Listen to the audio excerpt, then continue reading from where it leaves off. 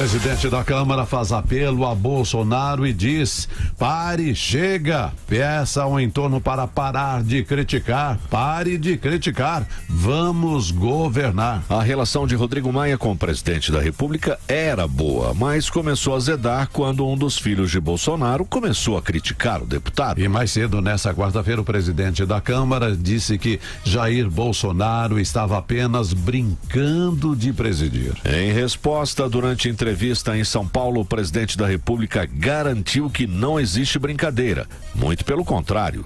Professor Vila, parece que são três anos em três meses. Bom dia. É, bom dia, bom dia a todos. A temperatura aumentou ainda mais. Ao que nós já dissemos aqui há semanas. Então, quem nos acompanha sabe que isso daqui não é novidade. Tudo já tinha sido antecipado aqui. Né? Lembra-se o decálogo, o Moisés da Avenida Paulista, que sou eu, eventualmente, né? Eu já tinha dito isso, né? Essa questão, vamos governar, o Rodrigo Maia, nosso ouvinte, certamente nos acompanha. É, entre um, entre milhões. É, muito obrigado aí pelo senhor nos acompanhar, mas é isso mesmo. Questão de governar. Tem 13 milhões de desempregados. 13 milhões de desempregados. O que os sindicatos comerciários fez outro dia aqui em São Paulo, inclusive está de parabéns. Tem mais de 6 mil pessoas, né? É uma loucura, as pessoas estão desesperadas. Então existe o Brasil real e o Brasil do Twitter. Quantas vezes eu falo, para de twittar. Agora todo mundo fala, agradeço, não tem nenhum problema.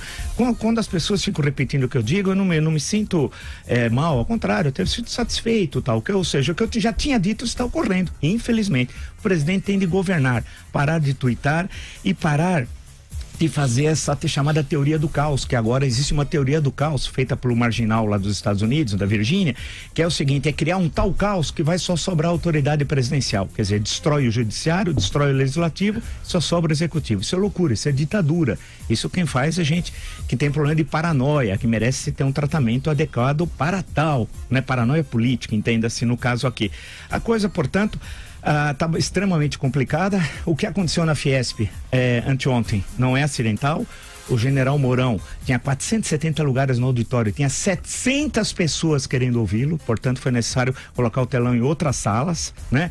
O general Mourão já é chamado de mozão, né? É, pela, por muitos empresários, pessoas estão desesperadas. O mercado, que nunca me, nunca me apresentaram, aquele mercado que estão me apresentar há anos, está muito preocupado. Aquilo que eu chamo aqui já foi dito, portanto, há semanas, os setores responsáveis da política e da economia precisam dar um, um, jeito na presidência da República. Caso contrário, teremos uma situação política gravíssima e, econo e econômica também muito grave. Está na hora ainda. Ainda é momento de dar um, um acerto nisso tudo. Caso contrário, não sei onde vamos terminar.